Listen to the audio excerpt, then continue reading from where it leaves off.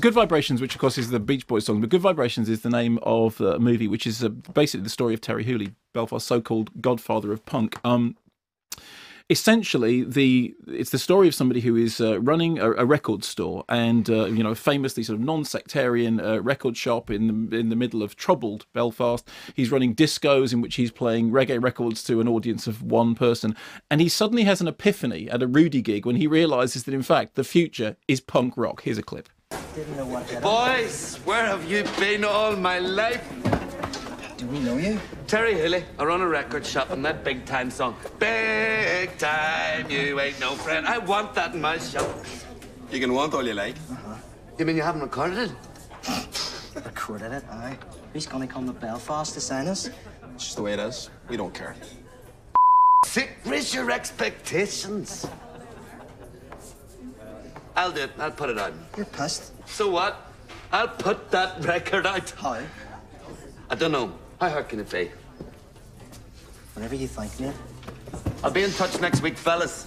You're making a record. And indeed, they are. So what happens is he starts making records completely sort of on a wing and a prayer. He doesn't have he has a fantastically hippyish sense of the unimportance of money. And in fact, the way the story plays out is that we see on the one hand Terri Hooley and his dreams of you know of music as this great, fantastic uniting force that will change the world. On the other hand, total disregard for anything like finance and uh, looking after the members of his family who are off doing important things like having children whilst he is doing all this stuff. So, and it's Richard Dormer who plays uh, Terri Hooley. Then of course what happens is into into his uh, sphere of consciousness comes the undertones. And he agrees to record the undertones and the whole thing essentially builds up to the recording of teenage kicks which then became uh, as i think everybody of our age would know john peel's favorite record of ever. Now the the really interesting thing about the film is this. It's made in a very low budget. It's really really well played and it is made with real heart and soul.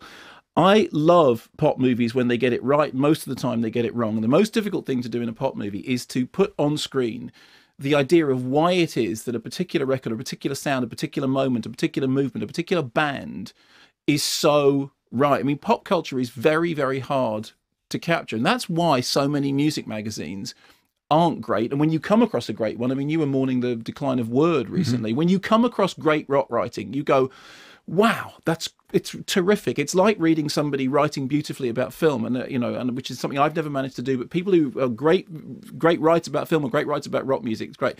If somebody can manage to make a film that captures a moment, captures you know a, a particular moment of pop culture perfectly, it's a really special thing. And there is there is amidst all the things that there are to like about Good Vibrations, that as I said, it's a film with real heart. It's a film which cares about its characters. It's a film which does beautiful little thumbnail sketches, which gets around the difficulty of having to have people walk on in wigs and stick on beards saying, "Hello, I'm John Peel," which is the chubby hum thing, which basically deflates most music.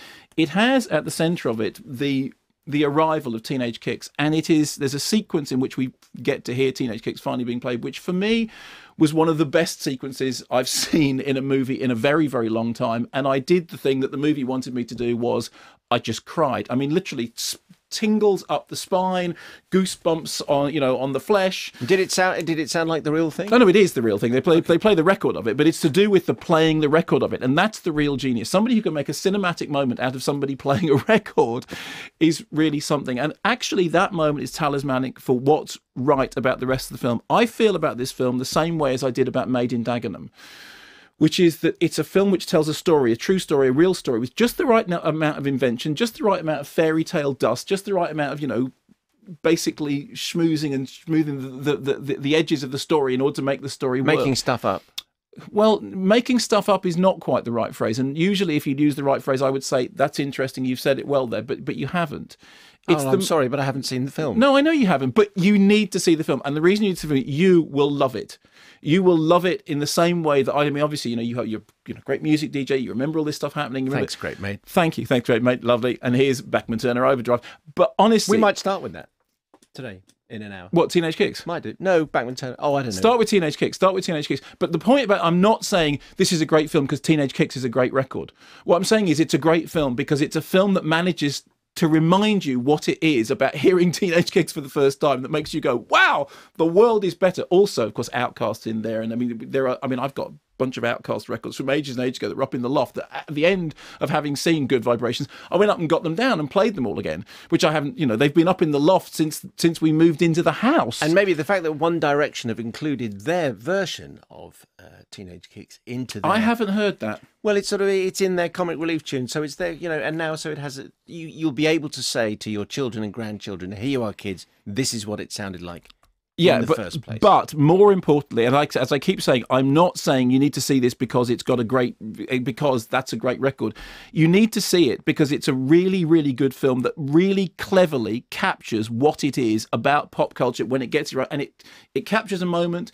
And I think it will work for any audience, for a younger audience who didn't grow up, you know, with with with teenage kicks it's just it's a charming film with as i said with real heart and soul and i cried twice Really? Yes. A double tearjerker. A double tearjerker, but you know, tears of joy, tears of tears of tears of you know, proper hooray, hurrah, and I feel really good about it. I I I, I loved it. I just loved it. Is it going to be an easy thing to see? I hope so. I hope it's going to get a thoroughly wide release because it absolutely deserves to. Is it's, it better than ABBA the movie? Most things in the world are better than ABBA the movie. Is it better than Slade in Flame? No. Sure. How how how short is it then? It's it's about the same length as Slade in Flame. no, you... no, no. How how short does? Oh, it. Oh, how fall? short is it? Okay, well, if Slade in Flame is Citizen Kane, Never Too Young to Rock is Exorcist to the Heretic. It's it's close. It's, it's much much close. But then that's that's really unfair saying is because well, you know what I think about Citizen. I'll tell you what it's as good as. I'll tell you what it's as good as. It's as good as the Buddy Holly story, and I really like the Buddy Holly story.